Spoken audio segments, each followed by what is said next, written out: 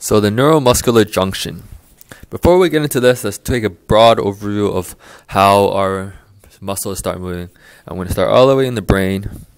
Let's sorry, excuse me. Start in the brain, and um, if you can remember, remember where the where the tracks go. Remember we have the internal capsule that will end up synapsing in your spinal cord. Remember, it goes down that cortical spinal tract, and finally it's going to leave that spinal cord and it's go out, and that nerve is going to go all the way to the muscle. And where that nerve hits that muscle, where the connect is called the neuromuscular junction. So what happens is the action potential will go down, and the action potential at the end of the nerve, which is here, will cause acetylcholine release. Acetylcholine will hit the acetylcholine receptors in the muscle. This is the muscle, and that will trigger an action potential in the muscle itself and the action potential is going to go down, and it's going to go down these things called T tubules, which are just very deep and um, basically allow the action potential to go from the surface of the muscle. This is all at the surface. It's going to go deep. Okay, so remember we're at the surface, and the T tubule is going to go deep, and you're going to go deep because you need to get to the sarcoplasmic reticulum, which are structures in the muscle that that hold a lot of calcium.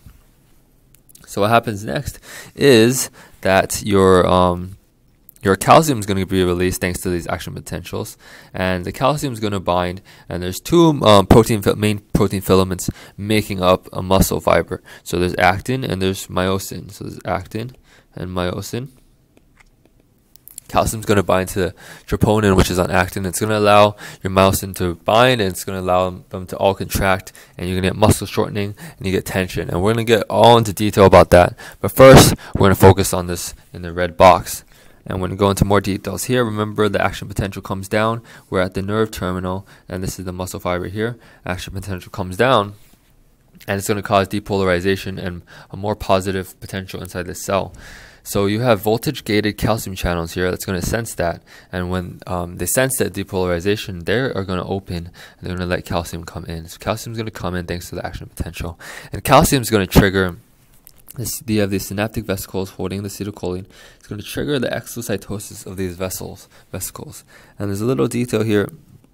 There's these proteins called snare proteins. Okay, there's multiple snare proteins. The ones you want to remember are SNAP25 and synaptobrevin. Um, just know these because these are very important um, in Botox function. But these proteins will attach to the vesicle and allow it for allow exocytosis. So acetylcholine is going to come out it's going to get sent out and it's going to bind to these receptors here. And when it binds to the receptors, it's going to cause an action potential in the muscle cell. Um, action potential is going to go down, and then the rest will explain more. Now, if you don't do anything, then your acetylcholine is going to keep hanging out on this junction. Um, and it's going to keep binding to those receptors, and it's going to keep sending action potentials, and you're going to get constant muscle firing. So if you need to, that to stop, you need something called acetylcholine esterase.